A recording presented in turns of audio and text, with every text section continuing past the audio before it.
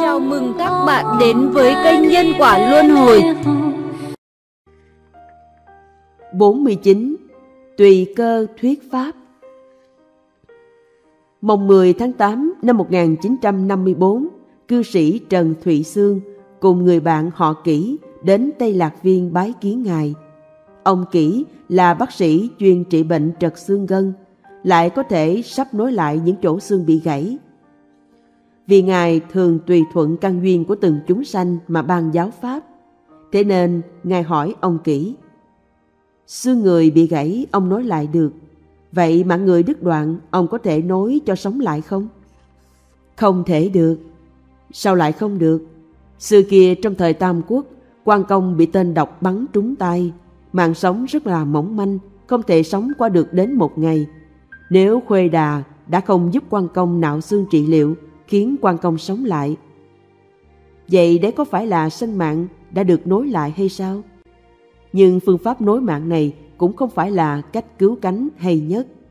Cho nên bây giờ tôi sẽ dạy ông một phương pháp nối mạng khác rốt ráo và hay hơn nhiều.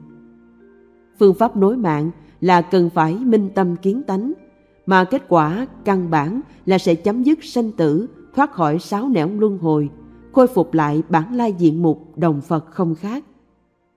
Nhưng muốn minh tâm kiến tánh thì phải tham thiền chứng ngộ. Phương pháp tham thiền thật chứng ví như gà ấp trứng, mèo rình chuột, nghĩa là phải liên miên, mật mật tập trung tâm ý, đến khi thoạt nhiên khai ngộ thì liền chứng đắc được pháp vô sanh. Phương pháp tham thiền cùng niệm Phật vốn không đồng. Tham thiền tức tham thoại đầu, tham cho đến biển cạn non mòn, thì nhất định sẽ liễu ám hoa minh, tức là tâm mê bừng sáng. Hành giả đã leo lên đến cùng tột của một cây cột cao ngất trời, nhưng còn có thể bước thêm một bước nữa để vào khoảng không vô tận. Rồi trong một khoảnh khắc, hành giả bước vào sự sống mới, tự trong lòng bàn tay mình sẽ cầm giữ được sự sanh tử và thoát ra khỏi vòng cai quản của Diêm Phương. Đó là phương pháp kéo dài kiếp sống của tôi. Trong thế hệ này, đã có người đang áp dụng được như thế. Đó là Đại Lão Hòa Thượng Hư Phân, nay đã ngoài 110 tuổi. Hiện vẫn còn tại thế. Ngài chính là vị cao tăng am tường phương thức nối mạng này. Nghe Ngài giảng, bác sĩ kỹ cảm thấy thú vị vô cùng vì đã thấu rõ tận tường chân lý.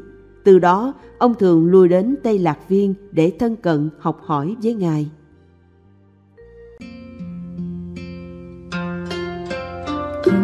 Ha ha ha,